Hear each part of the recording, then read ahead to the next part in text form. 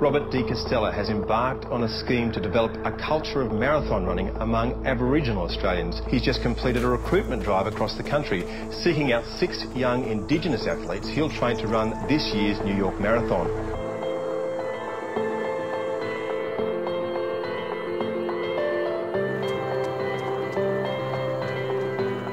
I'm going to try and do something positive because there's a lot of negative things here in Alice. You'll inspire a lot of kids. You know, you'll inspire a lot of adults to be better. You're making history.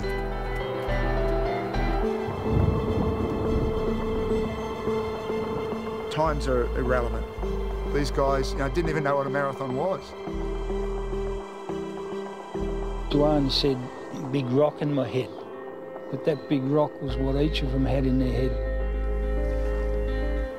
At times, like I wanted to quit the marathon project because it's just too tough, you know. Just, it was just overwhelming. I really want you to stay with us, mate. Maybe we won't do it. You know, maybe we won't get anybody to the start line. Certainly a memory I'd keep for the rest of my life, especially coming from like a small town like Kununurra.